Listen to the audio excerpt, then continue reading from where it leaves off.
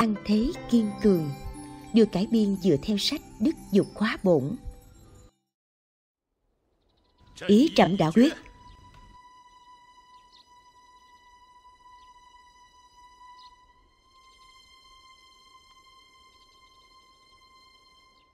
Hoàng thượng thật hồ đồ, không chỉ hắn tội chết. Mấy năm nay Lưu An Thế làm gián quan, mềm trắng gì cũng không ưa, ương ngạnh thẳng thừng sang gián hoàng thượng. Lúc nào cũng làm thân tín lão phu an bài bị cách chức, luôn phá hỏng chuyện tốt của ta. Lẽ ra hắn đã sớm chết rồi. Mấy năm nay tập bòn rút quốc khố tài lực đã có thể mua đứt cả nửa kinh thành rồi.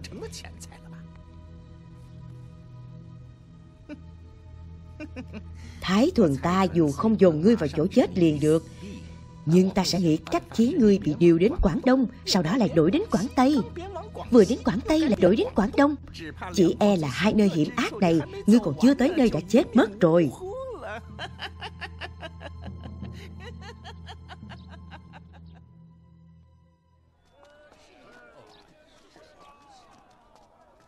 Huynh đệ, nghe nói lần này huynh sẽ phụ trách giám hộ đại nhân Lưu An Thế.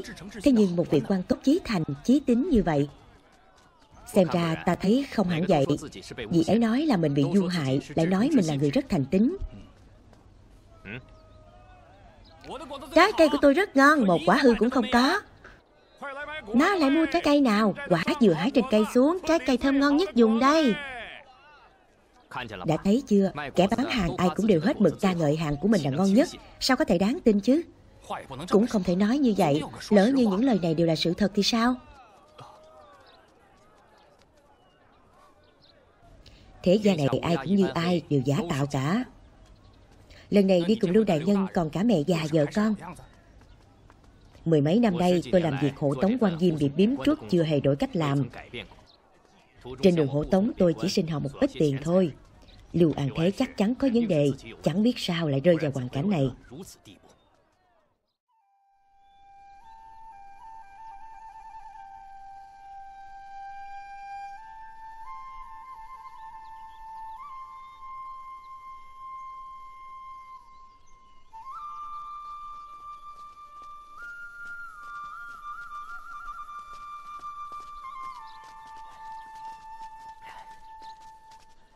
Đại nhân, trời nóng quá, hay là dừng chân nghỉ một chút được không?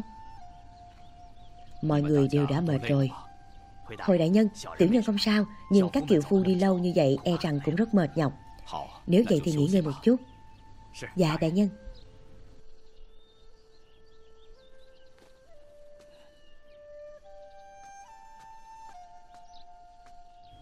Mẹ, mẹ phải chịu cực rồi.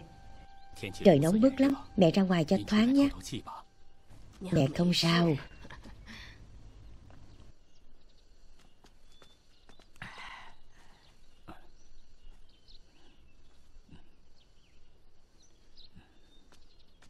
Lý Hồ dậy Chúng ta hết nước rồi. Tiểu nhân hiểu đây là muốn đi tìm nước. Vất giả cho Lý Kháng Hộ rồi. Có nước rồi có nước rồi. Lưu đại nhân. Đà tạ lý kháng hộ. Không có gì.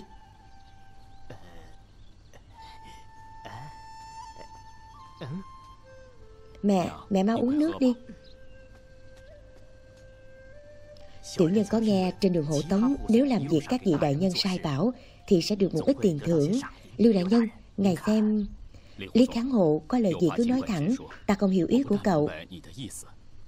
Lưu Đại Nhân phải chăng cũng nên học cách gì khác, Thưởng cho tiểu nhân ít bạc dụng chứ?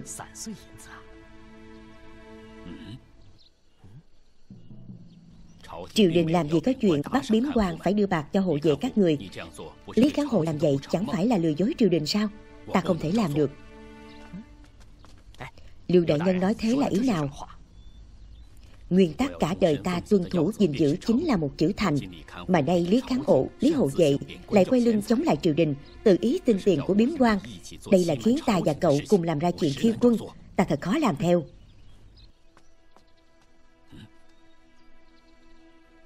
Ông rõ ràng là kinh thường tiểu đại bọn ta Còn bày đặt ra vẻ thanh cao Chẳng trách sao lại bị biếm trước. Ông đã không xem trọng bọn ta Ta hà tất phải nể gì ông.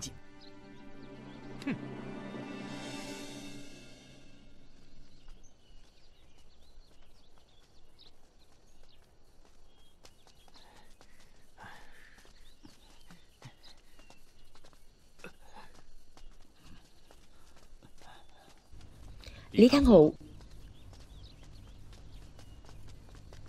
Lý Kháng Hộ xin qua đây một chút. Lý Kháng Hộ Khi nào mới nghỉ chân?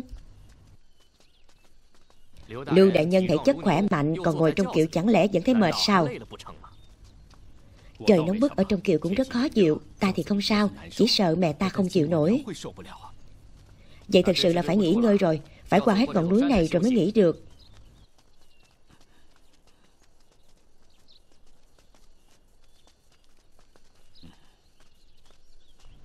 Chúng ta đi đường không thấy mệt. Ông ta ngồi kiệu lại kêu khổ. Đây là đạo lý gì chứ?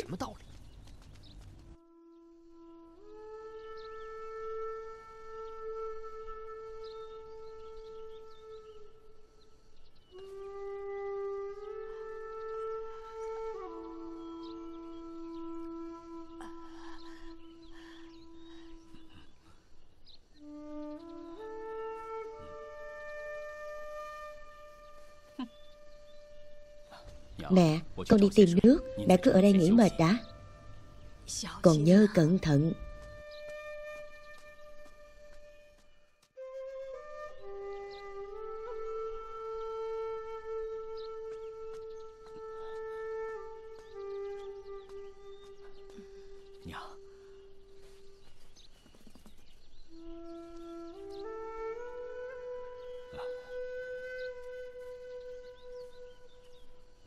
Mẹ, đây là... Mẹ tuổi đã cao rồi, răng cũng rụng hết, ăn không được nữa đâu. Hay là con chia cho mọi người cùng ăn đi. Dạ, mẹ đã già rồi. Trước kia con bề bộn mãi lo chuyện triều chính mà không để ý. Con đúng là đáng bị giáng chức. Lần biến chức này thật ra cũng là cơ hội để con được hiếu kính với mẹ. Các chàng trai trẻ, các con vất vả rồi, lại đây dùng chút trái cây mới hái nè.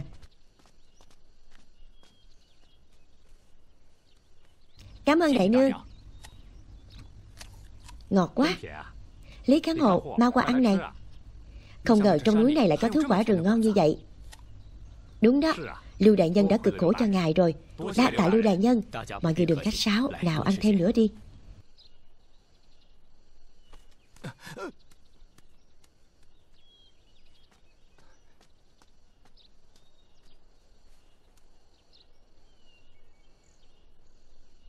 Lý Kháng Hộ ăn trái cây này Là Lưu Đại Nhân hái đó Thứ trái cây tầm thường này ăn có gì ngon? Quả Ambala hiếm có trên thế gian, Các người đã từng nghe nói đến chưa? Nghe qua mới là lạ. Ta từng hộ tống một vị cao tăng đi qua nơi này. Đã một lần được may thấy qua trái Ambala, Còn được ăn thử nữa. Thế quả Ambala đó mùi vị ra sao? Chắc chắn so với thứ trái cây trong tay ngươi Ngon hơn gấp trăm lần. Đến như vậy luôn hả? Ta từ lúc ăn quả Apala đó rồi Thì không muốn ăn bất kỳ trái cây nào khác nữa Tuyệt đối không giả Thật ngưỡng mộ lý kháng hộ quá. Đúng đúng. Nếu có thể được ăn thử một lần thì Cũng không uổng kiếp này. Ta vẫn còn nhớ đường đi hái trái Ambala Nếu vậy Lý Kháng Hộ cùng đi với huynh đệ chúng tôi hái vài quả đi. Đúng đó, đúng đó. Chúng ta muốn cùng cậu đi hái. Đúng vậy. Hay là để ta đi hái dưới Lý Kháng Hộ cho. Các anh em kiệu phu cứ nghỉ ngơi đi, Mọi người vất vả lắm rồi. Lưu đại nhân thật trọng lượng với anh em chúng tôi. Vị quan tốt vậy không biết sao lại bị biếm trước nhỉ? Ai mà biết được. Lý Khang Hộ có nhớ đường không? Lưu đại nhân là xem thường kẻ tiểu lại như ta sao? Xin ngài cứ yên tâm, Ta nhớ rất rõ đường đi. Lý Khang Hộ đã hiểu lầm rồi. Đừng nói nhiều nữa, Mau lên đi thôi, Trời sắp tối rồi.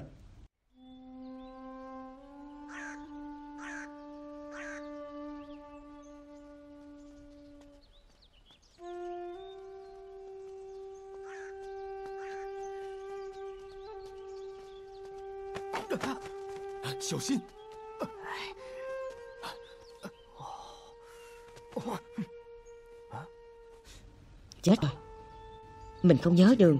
Nhưng làm sao thừa nhận đây? Lưu An Thế sẽ cười nhạo ta. Làm sao mới tốt đây? Làm sao mới tốt đây? Lý Kháng Hộ quên đường rồi phải không? Lưu đại nhân khéo lo xa, Mau đi thôi. Nếu không nhớ nữa, chỉ bằng sớm quay về thôi. Khu rừng này trời tối rất nguy hiểm. Lưu đại nhân, tôi chắc chắn nhớ rõ đường Quả Ampala ở đằng trước rồi. Đại nhân không cần phải nghi ngờ. Các người làm quan lớn xem thường bọn tiểu lại chúng ta. Chúng ta mắc mớ gì phải tôn trọng các người?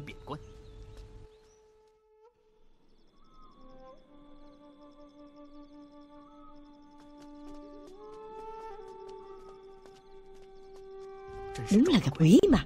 Đi hướng nào mới ra khỏi khu rừng này đây?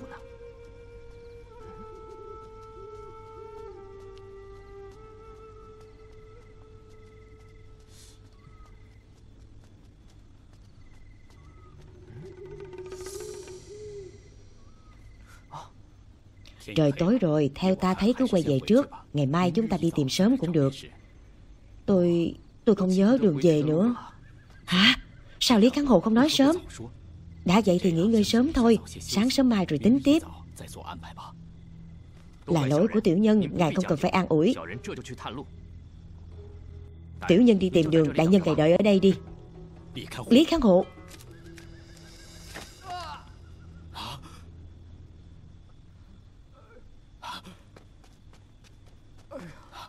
Lý Kháng Hộ Con bị thương chứ?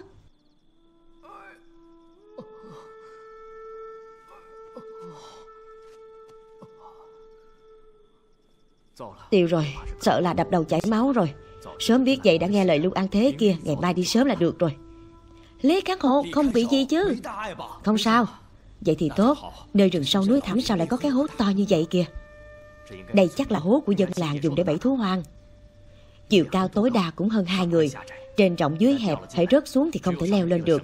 Chỉ có ở trên đường dây xuống mới có thể ra được. Ra vậy, Lý Căn Hộ hãy nghỉ ngơi, Đừng phí sức. Ngày mai tôi sẽ tìm người cứu cậu ra. Ta nhớ các kiệu phu có dây dài. Biết rồi, Lưu Đại Nhân. Dựa vào quan hệ giữa ta và ông, Ai biết ông có bỏ ta lại đây hay không? Sáng mai tự ta phải nghĩ cách thoát ra khỏi đây. Thật sự là bị đập rách đầu rồi.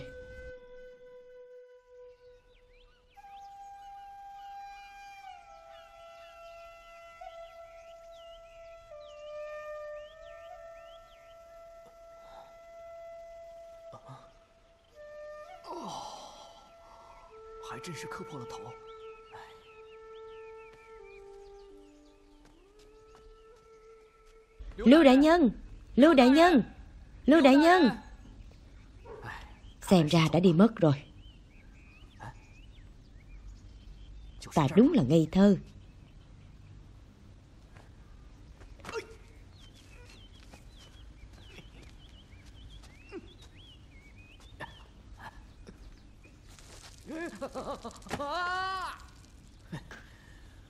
Ta không tin ta lại không ra được.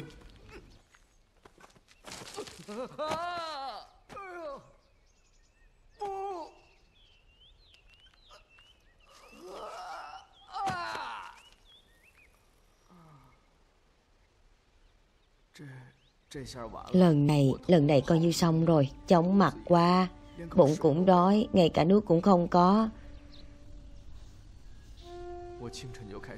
Ta đã ráng sức từ sáng sớm Giờ đã giữa ngọ rồi. Lưu An Thế nổi tiếng là người rất thủ tín. Chắc sẽ không lừa ta chứ. Ông ta đã nói sẽ đến cứu ta. Nếu là quan tốt thì làm sao lại bị biếm trước chứ? Nhất định là giả vờ thành tính Nhất định là giả vờ thành tính Ông rõ ràng xem thường bọn tiểu lại chúng ta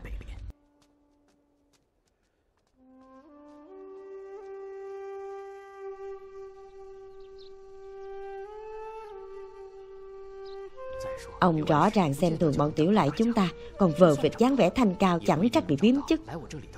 Hơn nữa, Lưu An Thế cũng chưa chắc có thể tìm được mọi người. Dù có tìm thấy đi nữa, Chưa chắc có thể lần ra được đường đến chỗ của ta. Ta mới không tin Lưu An Thế sẽ quay lại cứu ta. Xem ra hôm nay phải bỏ mạng lại nơi này rồi. Ta cần gì phải trổ tài, Cần gì phải đối đầu với Lưu An Thế? Trên đời này chẳng có ai tốt cả. Vừa đói vừa khát, Lại xây sẫm đầu óc, Chắc chắn là phải chết rồi.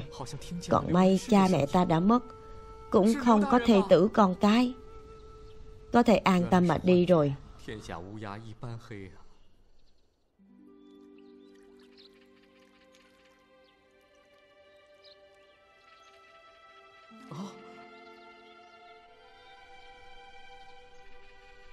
Tỉnh rồi, tỉnh rồi Ngài xem, tôi đã nói rồi mà Rưới nước là hay nhất Lý Kháng Hộ, cậu được cứu rồi Cũng quá cực khổ cho Lưu Đại Nhân đó còn phải nói, lúc chúng tôi đang thắc mắc không biết vì sao hai người chưa về, thì thấy một mình Lưu Đại Nhân hớt hải chạy về, không kịp nghỉ ngơi, bảo chúng tôi lấy hai sợi dây thừng trên kiệu đi theo ngài ấy. Sau đó thì đi tới chỗ cậu. Vì cậu bất tỉnh rồi, nên Lưu Đại Nhân phải tự cột dây vào eo mình, đích thân leo xuống hang mới cứu cậu lên được. Chuyện này có gì đáng nhắc đâu. Cứu người là việc tất nhiên. Hơn nữa, ta đã nói với Lý Kháng Hộ sẽ cứu cậu ấy. Như vậy ta nhất định phải làm cho được. Việc này có gì hay để kể lễ chứ. Nào, mau giúp đỡ Lý Hộ Vệ, Lý Kháng Hộ đến nơi khô ráo nghỉ ngơi. Chỗ này bị ướt rồi. Lòng thà tính của Lưu Đại Nhân quả nhiên không phải là danh hảo, đã nói cứu ta quả thật là sẽ cứu. Ta đúng là có mắt như mù, lấy dạ tiểu nhân đo lòng quân tử. Lý Kháng Hộ, mấy ngày nữa vẫn phải đi tiếp. Ta thấy cậu hãy lên kiệu ta ngồi đi. Không cần đâu Lưu Đại Nhân. Lý hậu Vệ đừng từ chối, cứ quyết định vậy đi. Lưu Đại Nhân, Hay, những lời trước đây ta nói quả thật hồ đồ quá rồi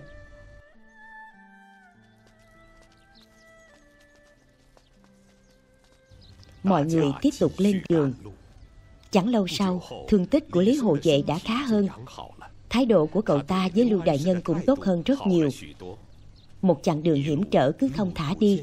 Như thế cho đến tiết cuối hạ.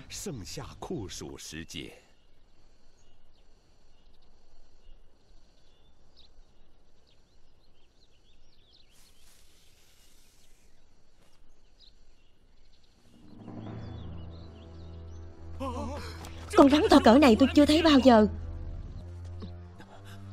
Thế nhi, Mẹ già ngồi lâu quá, Chân tê quá, Không đứng dậy liền được. Con mau chạy đi, Đừng lo cho mẹ.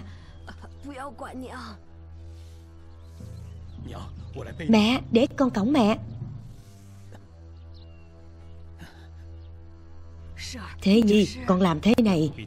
Mẹ đừng lo, con đã có cách. Chắc không phải là xà tinh chứ. Thế nhi nếu là con rắn này Mẹ đừng lo lắng. Con rắn này ăn no rồi Nó chỉ đi ngang qua thôi. Mẹ nhìn cái bụng của nó phình to như cái trống kìa. Dạng vật đều có thể cảm thông với nhau Chỉ cần có lòng thành chân thật. Chúng ta không có ý hại nó Nó tự nhiên sẽ bỏ đi. Lưu đại nhân cẩn thận đó Lý hộ vệ Mau dứt cành cây đó đi. Con rắn này ăn no rồi. Chúng ta không làm hại nó Nó cũng sẽ không hại chúng ta. Đừng có kinh động nó Nó sẽ tự bò đi.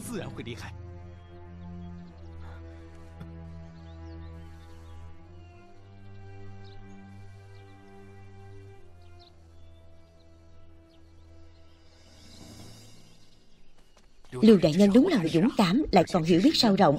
Nhìn ngày ấy cương trực như vậy, Nhất định không phải người tầm thường. Tôi thấy con rắn này chắc là bị chánh khí của Lưu Đại Nhân dọa bỏ chạy đó. Con rắn này chắc chắn tin Lưu Đại Nhân tuyệt đối không hại nó Nên mới an tâm bỏ đi. Ngay cả động vật cũng nhìn thấy được tấm lòng chân thành của Lưu Đại Nhân. Mắt ta trước đây đúng là mù rồi, Mới hiểu làm Lưu Đại Nhân. Thật hết nói nổi.